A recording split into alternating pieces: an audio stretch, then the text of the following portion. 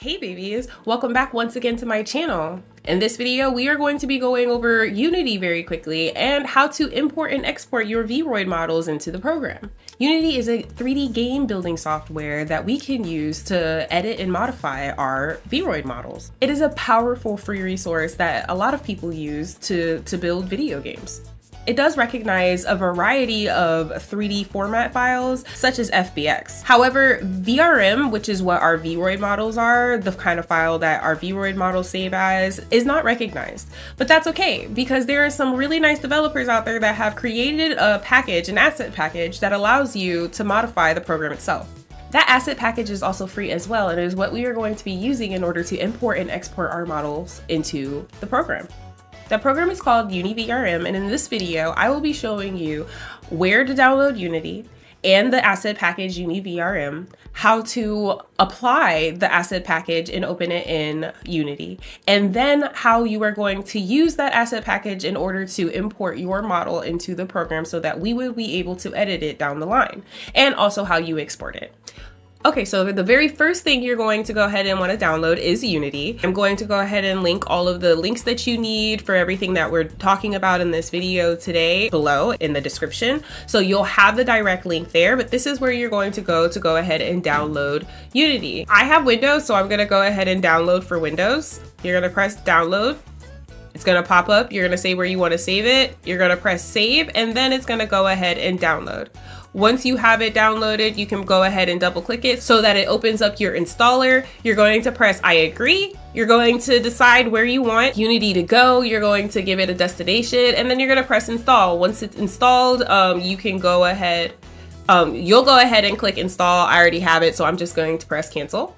Once you have everything installed, you should have a hub that looks like this. It'll have your projects here. It will have your different versions here. Unity does have previous versions of the program before updates and stuff that you can go back to. So just in case that there's an asset package or a certain tool that you're trying to use and it's not really working, it's kind of buggy with the most recent update, you can rewind it back. You can go ahead and download previous versions that they'll go ahead and work in. And a lot of programs will tell you in their description and what the, um, the information that they include with the package, what version it will start to work all the versions that you do download and install will be right here. And in order to download those different versions, you would go to the visit the download archive and it gives you all of the versions of Unity that you can use that have been previously um, updated.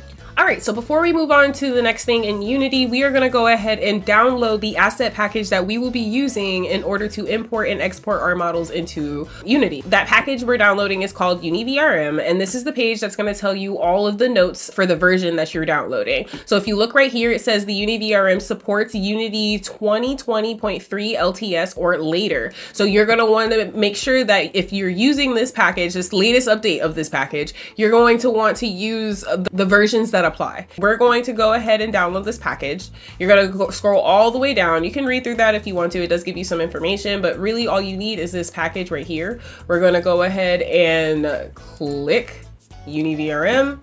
It's going to download our file and that's it for right now. So we're going to go ahead and go back to our Unity Hub and go ahead and start our project. So we're gonna open our Unity Hub. We are going to start a new project. It's going to ask us which versions that we want to go ahead and use. I am using the one of the ones that apply. I made sure that it matched the, the notes, the developer's notes from um, the UniVRM download. And I'm gonna go ahead and select 3D because we are going to be working in a 3D space. And we're going to name our project and decide where we want it to go. So you go here, you find in your directory, you're gonna select the folder. You're gonna wanna try to be as organized as possible. I'm gonna try to make that reminder. Don't be like me. be an organized being. I, it took me very long to realize just how important it is to be organized. Please, please, please do yourself a fucking favor. Organize your work. And then we're going to go ahead and press create project. All right, once it opens, it's gonna look like this. This isn't a Unity tutorial, but really quickly you have your viewport here and all of your assets and materials are gonna show up here. In order to import your package, you're going to want to press assets. You're going to go to import new package, custom package, And then you're going to find what we downloaded a little earlier. And you're going to open the package, then you're gonna press open. When this comes up, you're, you're not gonna change anything, you're just gonna press import. It's gonna think a little bit, or a lot of it. And we're going to press accept all. Press close. That's gonna add all our little assets into our asset folder. So now we have some new options up here at the very top. So what we're going to do, if you'll notice, you'll see VRM0 here. This new tool is what we're going to go ahead and use in order to import our model. We're going to go to import from VRM. You're going to find your character you're going to see a window pop up and it's going to ask you about saving a prefab. So that's basically going to make little folders for all the information that your model is carrying for all the materials, all the meshes and all that kind of stuff. And it's going to organize it in a folder. You're going to go ahead and press save because it's going to save within a predestined directory that applies to your project. You're not really gonna wanna change anything except maybe the title here. It's literally just going to be a collection of files that pertain to your model. So I would leave it as their name or whatever you're doing. I added wings to this model, so that's why it says Lilith Wings. And then I'm going to go ahead and press save. It's going to create all those folders and it's gonna add them here on the side and you'll see some more of those all the little folders that apply to our model and our model down um, below it within the asset window. You'll see these here and here. So what we're going to do is we're going to go ahead and click and drag our model into our viewport. So you can go ahead and scroll with the middle mouse wheel. You can pan um, with holding middle mouse down and moving side to side up and down. And then if you right click and hold drag, you have the rotate orthographic view just for just for reference. But now I have my model in here. So now I've messed around with her. I've changed some things. I'm completely happy with my model and I'm ready to go ahead and import it out. So what we're going to do is we're going to go back to our VRM tab. We're going to go to export to VRM. We're going to look over here because now we have this little section that says export root. We're going to take our full model, we're going to drag her name right into this little box and you'll see it pop up like this. If you have a little warning sign here, let me take this version out. So you may have this right here and it may say require version. You would go here and put a version. Um, once everything is all the red signs are gone and it's not yelling at you anymore, you're gonna wanna put a title for your model and who made it.